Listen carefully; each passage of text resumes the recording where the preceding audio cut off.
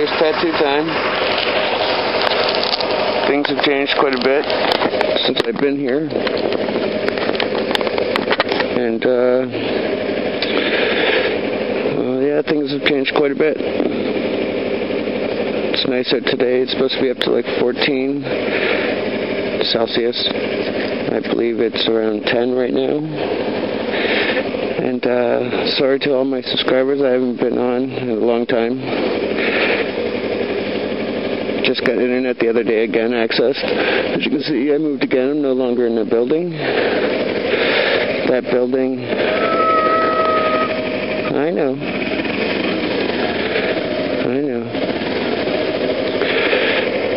That building that I was in ended up being infested with bed bugs. So we got the hell out of there right away. Instantly, what I did was I told them that I was going to spray paint a bed sheet.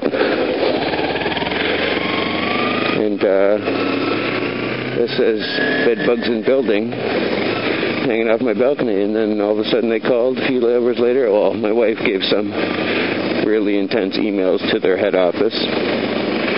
And uh, sure enough, they called us back and said, when do you want out of your lease? I said, right away, thank you.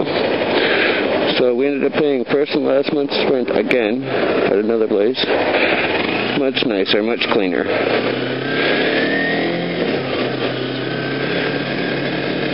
Now, listen to this, please. Hear that? Squeak, squeak, squeak. That's my bike.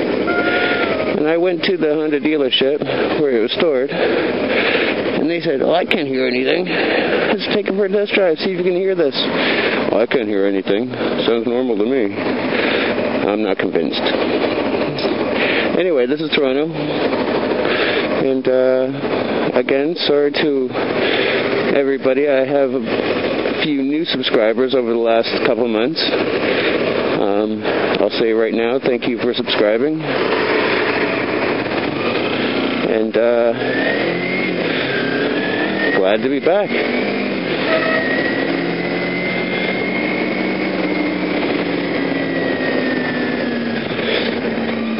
Listen.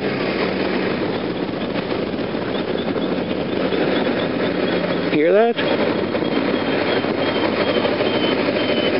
Sounds like a. I just kicked my dog and it's crying.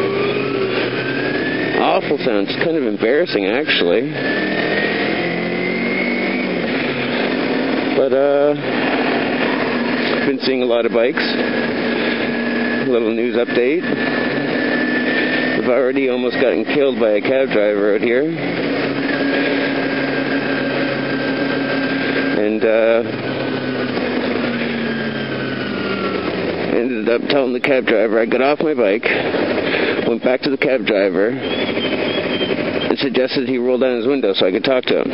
He refused to roll down his window. I'm getting wet spots. It was raining here. I'm getting wet spots on my legs. Anyhow, he refused to roll down his window. So I yelled, use your fucking blinker. Sorry, use your blinker. And uh, he gave me the finger. So I was pissed.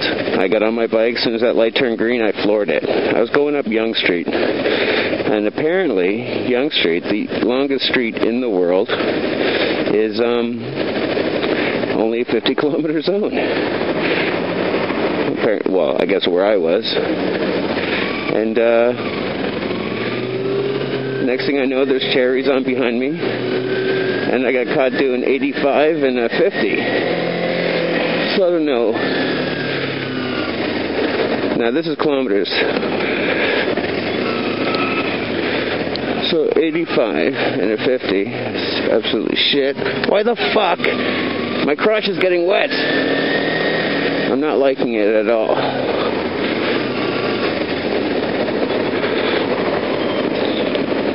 So he ended up pulling me over. Um, first thing that one of the officers did, who knows, maybe he was in a bad mood, but everybody remembers from my modifications that uh, I had my my plate sort of angled in the back, and uh, first thing he did was come up and ream, grabbed right a hold of my plate, reamed it back, bent the fuck out of it, and uh, gave me a $260 ticket for going 35 over. Welcome to Toronto.